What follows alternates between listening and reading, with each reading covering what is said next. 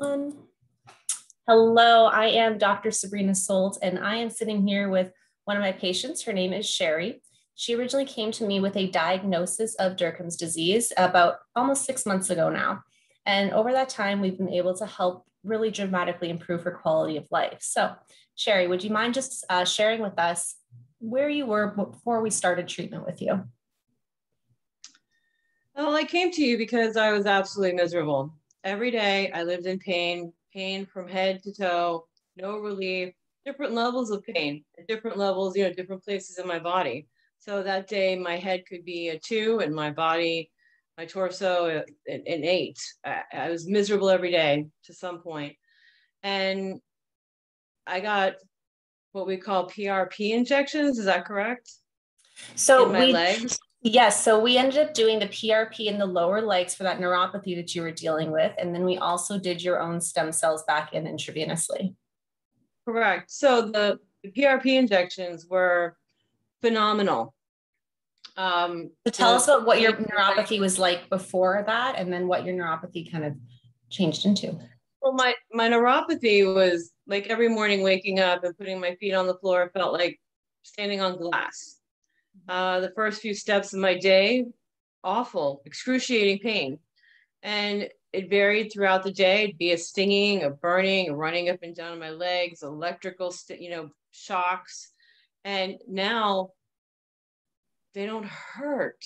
Like I, I occasionally I'll get some of that pain, like the weather changes or, or something. Um, or maybe because I overexerted myself that day my legs will ache some, like anybody else's legs would ache. But it's not that same singing, burning. I don't mind putting my feet on the floor in the morning any, any, anymore. It's been a great improvement in that area. And as far as what I feel I received from the stem cell therapy we did, well, I didn't want to get, I didn't want, I want, I didn't want to stay on the couch during my recovery. I want to say about three weeks in, once I was able to take like that the the garment off the that we had afterwards. Thank you. The compression mm-hmm. binder afterwards. Three weeks in, I took that off, and I was itching to get off the couch. I wanted to go do things. I felt. And how amazing. was that different from before? I, I spent my day on the couch or in my bed, a variation of the two. I didn't want to leave my house. I didn't want to put on undergarments. I did not want to wear anything but a nightgown all day long because everything bothered my skin. Any weight on my body just added more to the fatigue of having to almost carry it around, it felt like. Now, like my husband and I are going out for dinner tonight after we do this interview. That's wonderful. That's wonderful. And I remember too, when we were doing some of your initial follow ups, you actually did things like cook big meals for your families and hosted some gatherings for the holidays, um, which I think was a, a pretty big deal for you.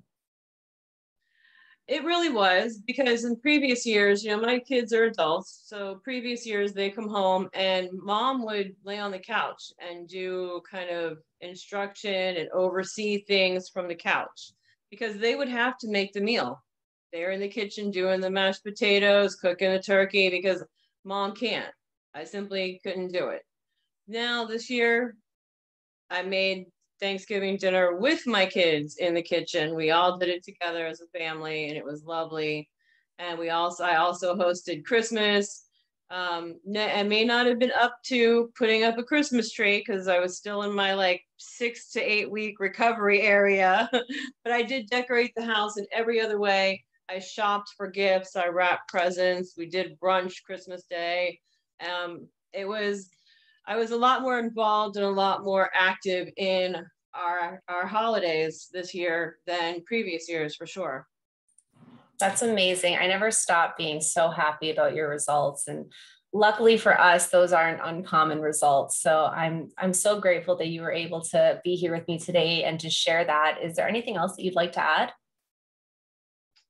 Um just that you made the whole process very simple and easy and it was nice to even just learn about you and your family and be happy for, you know, congratulations on the newest edition and and just know that I am grateful. My family's grateful. My husband almost even joined me today, but he wasn't going to be home in time um, so that he could say, Hey, I feel like I kind of got her back, you know?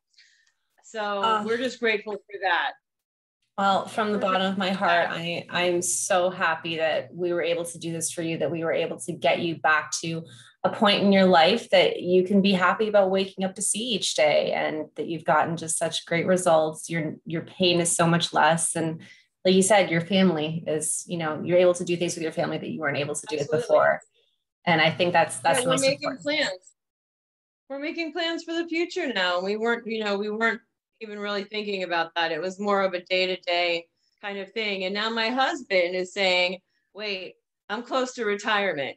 And I'm thinking that when you go back, because we banked myself, mm-hmm. whenever, yes. whenever I come back to you, and I plan to around that year mark, yes, he wants to come. He wants to do it too. Perfect. Like, well, I you. I won't be able to keep up if we don't I don't go do it. Well, I would be entirely honored to see him and, of course, to, to welcome you back. Awesome. Thank you. Well, thank you so much, Sherry, for sharing with us. All right. Absolutely. Well, hope you have a great evening.